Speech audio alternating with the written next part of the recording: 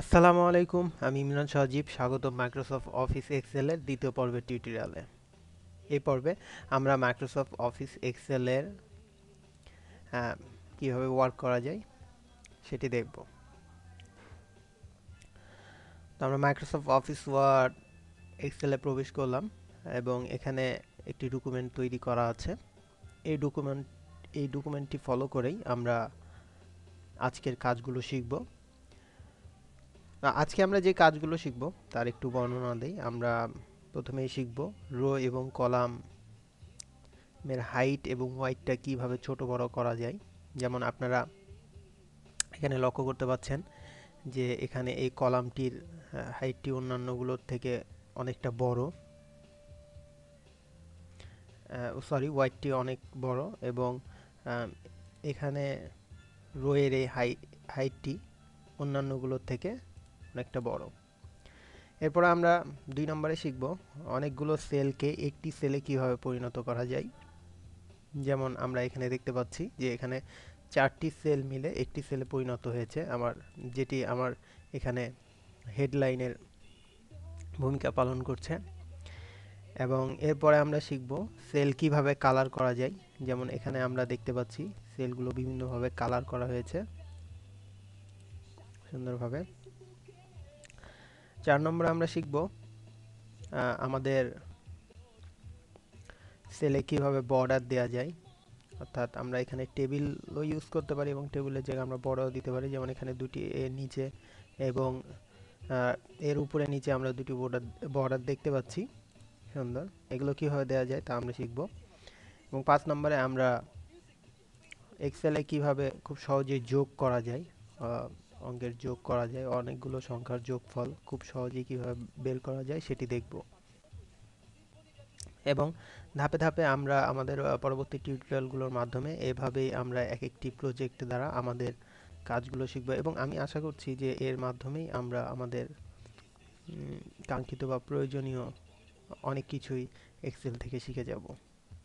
তো আসুন শুরু করি আজকের টিউটোরিয়ালের প্রথম অংশ। প্রথমে আমরা এখানে দেখছি যে আমাদের এই কলামটি, এই কলাম থেকে বড় এবং এটিও একটু বড়।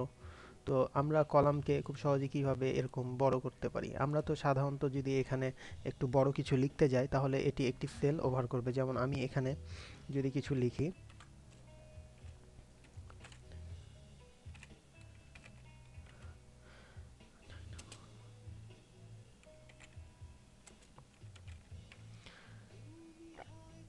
বোঝানোর জন্য এখানে টেক্সট ডট কম লিখলাম, কিন্তু আমি দেখছি যে আমার এই সেলটি ছাড়িয়ে আমার এফ কলামের এই সেলটি ছাড়িয়ে আমার জি কলামের এই সেলে চলে গেছে লেখাটি। তো আসলে আমার এতটুকু জায়গাতে হবে না, অর্থাৎ আমার আরও কিছু জায়গা প্রয়োজন। তাহলে আমার এই সেলটির ওয়াইটটা আমার বাড়ানো উচিত এবং এটি বাড়ানোর জন্য আমি খুব সহজেই এখানে আমি যেই কলাম কলামের আমি ওয়াইটটা বাড়াতে চাই, আমাকে অবশ্যই সেই কলামে থাকতে হবে এবং সেই কলামের আমি যদি এর এই জায়গাতে নিয়ে যাই, তাহলে দেখব যে আমার সেল পয়েন্টারটি একটি পরিবর্তন এসেছে এবং তখন লেফট বাটন চেপে ড্রাগ করে আমাকে আমি এটিকে বাড়াতেও পারি এবং কমাতেও পারি। এবং লক্ষণীয় বিষয়, আমি যখন এটি বাড়াচ্ছি, তখন কিন্তু আমার এখানে হোয়াইটটা শো করছে যে কত পার্সেন্ট হোয়াইট হচ্ছে। কত পিক্সেল হোয়াইট হচ্ছে, আমি এটি দেখতে পাচ্ছি এবং আমি ইচ্ছা মতো এটিকে হোয়াইট করতে পারি। এবং আমি চাইলে হোয়াইট কমিয়ে দিতে পারি। এখন কিন্তু আমার অন্য সেলে আসেনি, আমার নির্দিষ্ট সেলের মধ্যে লেখাটি এটে গেছে। এভাবে আমরা কলামের ওয়াইড বৃদ্ধি করতে পারি এবং এছাড়াও আমরা খুব সহজে আমরা কাউন্টিংয়ের মাধ্যমে পারি। এই জন্য আমাদেরকে অপশন মেনু থেকে এখান থেকে ফরম্যাট ফরম্যাট থেকে আমাদেরকে এখানে কলাম ওয়াইতে ক্লিক করতে হবে এবং সেখান থেকে এখানে ষোলো আছে, আমরা যদি বিশ করে দিই, তাহলে আমরা আবার দেখব যে আমাদের ওয়াইটটি আরও বেড়ে গেছে। এবং আমরা যদি আবার কমিয়ে দিই জেনারেলি নয় করে দিই, তাহলে দেখব অনেকটা আমাদের আগের অবস্থানে চলে গেছে। তো এভাবে মূলত আমরা কলামের হাইট বা ওয়াইট বৃদ্ধি করতে পারি। মনে রাখতে হবে যে আমরা যখন এই জায়গাতে কলামটির একেবারে এই জায়গাতে আমাদেরকে নিয়ে যেতে হবে। তাহলে আমরা এখান থেকে লেফট বাটন চেপে ড্রাগ করে মাউসের লেফট বাটনটি চেপে ধরে আমাকে এইভাবে আমি কমাতে পারি, বাড়াতে পারি। এরপর আমরা দেখব যে আমাদের রোয়ের হোয়াইট এটি আমাদের রো এবং এই রোয়ের হোয়াইটটা আমরা সেম একইভাবে আমরা এটির যেমন একবারে উপরে পাশে এই দাগগুলোতে আমরা শো করছি, এখানেও তেমন কিছু একের নিচে একটি দাগ আমরা দেখতে পাচ্ছি। সেই বরাবর যদি আমরা নিয়ে যাই, আমরা যে যেই রোটিরই হাইটটা বাড়াতে চাই, আমরা যদি সেই জায়গা বরাবর নিয়ে যাই, তাহলে আমরা সেখান থেকে এটিকে বৃদ্ধি করতে পারি। এবং আমি দেখতে পাচ্ছি যে আমার মাউসের একটি সেল পয়েন্টারের একটি পরিবর্তন ঘটছে এবং আমি তখন লেফট বাটন চেপে ড্রাগ করে আমি এটিকে যত দূর ইচ্ছা আমি বাড়াতে পারি এবং যতটুকু ইচ্ছা আমি কমাতে পারি। এবং একইভাবে আমি রোটিকে সিলেক্ট করে ফরম্যাট থেকে রো হাইট, রো হাইটে যাওয়ার পর আমি যদি এখানে টোয়েন্টি করে দিই, তো আমি দেখব যে আমার রোয়ের হাইটটি বেড়ে গেছে এবং আমি আবারও এখান থেকে কমিয়ে দিতে পারি ওয়ান ফাইভ। তাহলে আমরা বুঝলাম যে কীভাবে আমরা রোয়ের হাইট এবং কলামের ওয়াইট বৃদ্ধি করতে পারি আমাদের প্রয়োজন। অনুপাতে।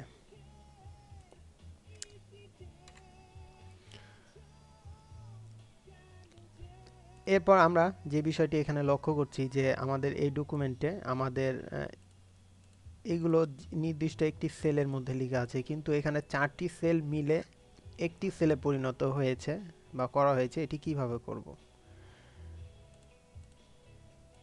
এই বরাবর। জেনারেলি আমরা দেখে থাকি যে আমরা যদি এখানে লিখি zero two, zero one sorry zero two, zero three, zero four. তো আমরা যদি এখানে হেরিংটা লিখি কাউন্টিং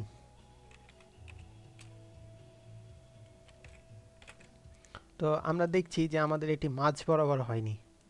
তাহলে এটিকে যদি আমরা মাঝ বরাবর করতে চাই, তাহলে আমরা যদি হয়তো বা অনেকে এটা ভাবতে পারি যে আমরা ওয়াইটটা বৃদ্ধি করি, তাহলে আমরা দেখব যে না, আমার শুধু এই কলামের ওয়াইটটা বৃদ্ধি হয়েছে এবং এগুলো সরে যাচ্ছে, এক হচ্ছে না। তাহলে আমার এক করতে হলে আমাকে কি করতে হবে? খুব সহজ, আমরা সেটি এখন দেখব।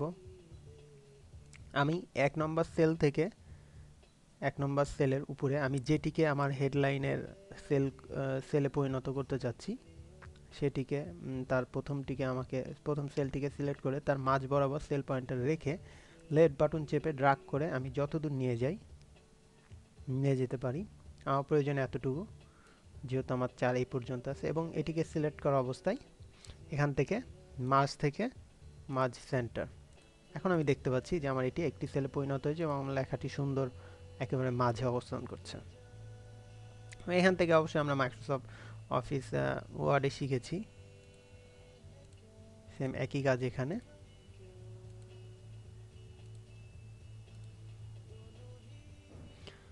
তো এভাবে আমরা মূলত এটিকে অনেকগুলো সেলকে একটি সেলে পরিণত করতে পারি। এবং আমরা যদি পুনরায় ফিরে যেতে চাই, তাহলে এখানে সিলেক্টটিকে আনসিলেক্ট করে দিলেই আবার আগের অবস্থানে এটি চলে যাবে।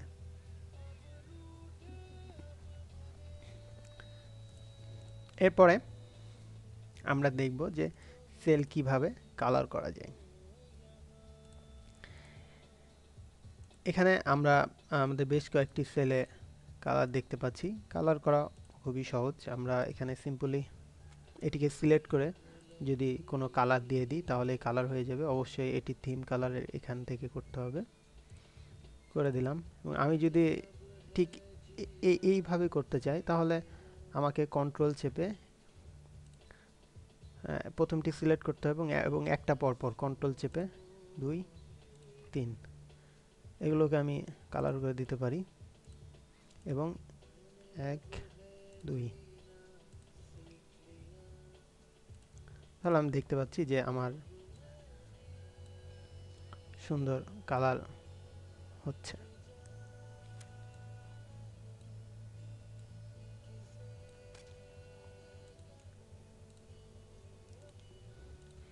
একটা সুন্দর অবস্থার আমরা এখানে পরিবর্তন দেখতে পাচ্ছি। তো এভাবে মূলত আমরা আমাদের ইচ্ছা মতো কালার করতে পারি এবং এখানেও আমরা এই উপরের এই অপশনটি আমরা তিনটি সেল মিলে একটি সেলে পরিণত করেছি, ঠিক একইভাবে মাঝভাবে এবং মাঝ আমরা সিলেক্ট অবস্থায় দেখছি।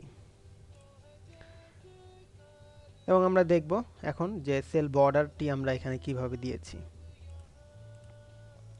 সেল বর্ডারটি দেওয়ার জন্য আমাকে আগে এখান থেকে নির্দিষ্ট করে দিতে হবে যে আমি কি ধরনের বর্ডার স্টাইলটি চাই। এখানে লাইন স্টাইলটি আমাকে সিলেক্ট করে দিব আমি।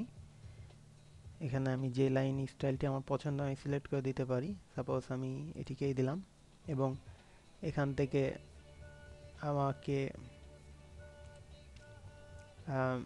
কালারটিও সিলেক্ট করে দিলে ভালো হবে।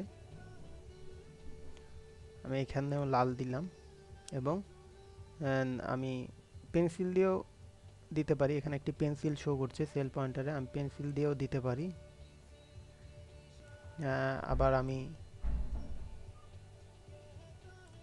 সরাসরি এখান থেকেও আপ অ্যান্ড ডাউন বর্ডার দিতে পারি সিলেক্ট করে।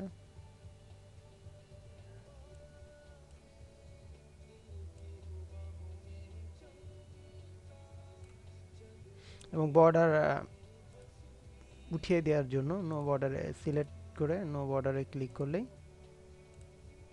বর্ডারগুলো ঠিক চলে যাবে। দেখতে পাচ্ছি বর্ডার চলে গেল তো সিম্পলি এইভাবে আমরা বর্ডার দিতে পারি। এরপরে আমাদের সর্বশেষ যে কাজটি, আমরা দেখব যে কীভাবে আমরা অনেকগুলো সংখ্যার যোগফল করতে পারি। তো যোগফল করার আগে কিছু কথা বলা প্রয়োজন। কারণ আমার এই সেলটি সম্পূর্ণ একটি সূত্রের উপরে দাঁড়িয়ে আমাকে এখানে যত যত গাণিতিক সমাধানই বলা হোক না কেন বা বিভিন্ন টেকনিক্যাল সমাধান বের করার জন্য আমাকে এখানে অবশ্যই কিছু সূত্রের উপরে ভিত্তি করে আমাকে কাজ করতে হবে। সূত্রগুলো ঠিক সূত্রগুলো যদি আমি ঠিকভাবে ব্যবহার না করি, তাহলে অবশ্যই কম্পিউটার আমাকে কোনো সমাধান দিতে পারবে না। তখন আমাদের মনে রাখতে হবে যে কম্পিউটার আমাদের মানুষেরই একটি তৈরি করা জিনিস। এবং এখানে কিছু সূত্র দিয়ে দেওয়া হয়েছে যেই সূত্রগুলার কে মানুষ নানানভাবে ব্যবহার করে তার প্রয়োজনীয় অনেকগুলো কাজের খুব দ্রুত সমাধান পেয়ে থাকে। তো এই জন্য আমাকে এই সূত্রর উপরে অবশ্যই দক্ষ হতে হবে। সেই সূত্রগুলো যদি আমার ঠিকভাবে জানা না থাকে তাহলে অবশ্যই আমি এখানে কাজ করতে পারব না। এবং এক্সেল ওয়ার্কশিটে আমার যেটি প্রয়োজন যে আমি এখানে কোন সেল নিয়ে কাজ করছি বা কোন সেলে অবস্থান করছি, সেই সেল সম্পর্কে আমার জানা। তো এই সেল সম্পর্কে আমি খুব সহজেই জানতে পারি। যেমন আমি এই সেলে আছি, এই সেলে, এই সেলের টাইটেলটি আমাকে জানতে হবে যে এই সেলটি কত নম্বর সেল বা এই সেলটির মেন টাইটেল কি। কারণ এই সেলটির টাইটেলের উপরে ভিত্তি করে আমি সূত্র প্রয়োগ করব। তাহলে আমার সেলটির অবশ্যই টাইটেলটি জানা দরকার। তাহলে আমি এই সেলটি যখন রাখছি এখানে এবং আমি এটিকে কালার করে দিই আমাকে বুঝতে সহজ হওয়ার জন্য, আমি এই সেলটির টাইটেল জানতে চাচ্ছি। তাহলে সরাসরি খুব সহজেই আমরা এখানে দেখতে পাচ্ছি টাইটেলটি যে জি টেন এখন জি টেন টাইটেলটি কেন হলো? জি টেল জি টেন টাইটেল এই জন্য হলো যে আমরা জি নম্বর কলামে আছি, এই জন্য জি এবং আমরা টেন নম্বর রোতে আছি, এই জন্য টেন সো এটি হচ্ছে জি টেন টাইটেল আমরা যদি তার একটু উপরে যাই, তাহলে আমরা দেখতে পারব নাইন নম্বরে আছি। আমরা জি পরিবর্তন করিনি, কলাম।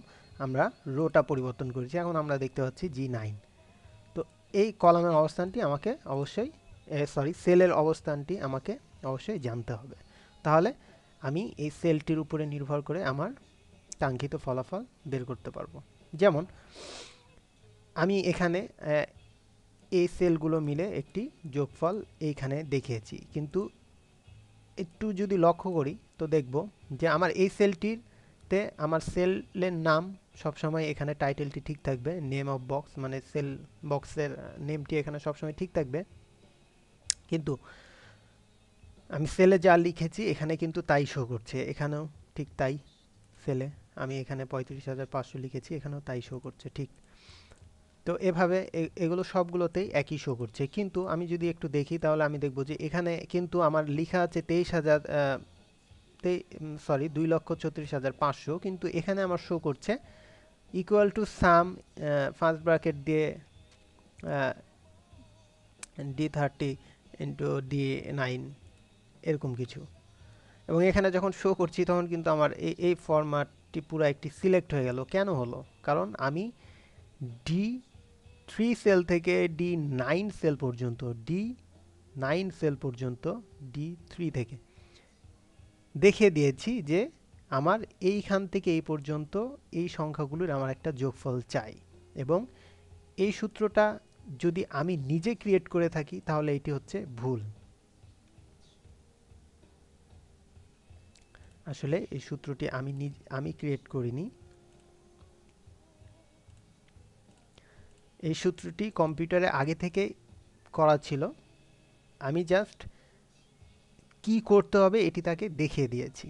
সো এই জন্য আমাদেরকে আমি বলছি যে এই সেলগুলো সম্পর্কে আমাকে জানতে হবে যে আমি কোন সেল থেকে কোন সেলের সমাধান মিলাতে চাচ্ছি বা কোন সেল থেকে কোন সেলকে বিয়োগ করে বা যোগ করে আমি সমাধান পেতে চাচ্ছি। এটি আমাকে অবশ্যই দেখিয়ে দিতে হবে। যেমন, যার কারণে আমি এখানে দেখিয়ে দিয়েছি যে আমার এই সেল থেকে ডি থ্রি সেল থেকে ডি নাইন সেল পর্যন্ত আমার একটি যোগফল চাই এবং সেটি আমি দেখে দিচ্ছি এই জন্য যে সূত্র আমাদেরকে ব্যবহার করতে হবে এবং এই সমাধান আমরা এই ওয়ার্কশিটের যে কোনো স্থানে আমরা এটিকে বের করতে পারি। এই জন্য আমি যদি এখানেই বের করতে চাই, তাহলে আমাকে এখানে অবশ্যই আমাকে যে কোনো সমাধান পেতে প্রথমে ইকুয়াল দিতে হবে। আমরা এখানে দেখতে পাচ্ছি ফাংশন বক্সে আমরা যদি এখানেও লিখি সরাসরি, তাও হবে তবে আমরা সরাসরি সেলেও লিখতে পারি। তো এখানে আমি লিখলাম এবং যোগের জন্য অবশ্যই সাম ইউজ করতে হবে। সাম দেওয়ার পর অটোমেটিক এখানে সাম চলে আসছে। আমি যদি এখান থেকে ক্লিক করি ডবল ক্লিক করি সামটি সিলেক্ট সহ ফার্স্ট ব্র্যাকেট চলে আসছে। আমি ম্যানুয়ালিও একটু লিখতে পারি এবং শর্টকাটের জন্য দেখা যাচ্ছে আমি ওখান থেকেও ডবল ক্লিক করে সিলেক্ট করে দিলাম। এখন আমি যদি এখানে এই সেলটি দেখিয়ে দিই সেলটি সিলেক্ট হয়ে ডি থ্রি হয়ে গেছে। এখন যদি আমি আরেকটা সেল সিলেক্ট করি, তাহলে কিন্তু আমার ওই সেলটি বাদ হয়ে কিন্তু সিলেক্ট হয়েছে। অর্থাৎ আমার সেলগুলো পরিবর্তন হয়ে যাচ্ছে। আমাকে যদি এই সেলের সাথে কোনো সেলকে যোগ করতে হয়, তাহলে আমাকে অবশ্যই কন্ট্রোল চেপে আমি আরেকটি ক্লিক করতে পারি। এবং আমি তাহলে দেখতে পাচ্ছি যে D six comma D three এবং আবার কন্ট্রোল চেপে যদি আমি এটি চাপি, তাহলে দেখছি দেন এখন যদি আমি ইন্টার চাপি, তাহলে আমি দেখতে পাচ্ছি যে আমার D six D three D eight সেলের আমি ফলাফলটি পেয়ে গেছি যে এই তিনটা যোগফল কি? খুবই সহজ। আমরা আবারও দেখতে পারি, এখন আমরা যদি একসাথে চাই, আমরা সাপোজ এখানে আমরা যদি টোটালটা চাই, আমরা এই সেলে লিখি এগেন টোটাল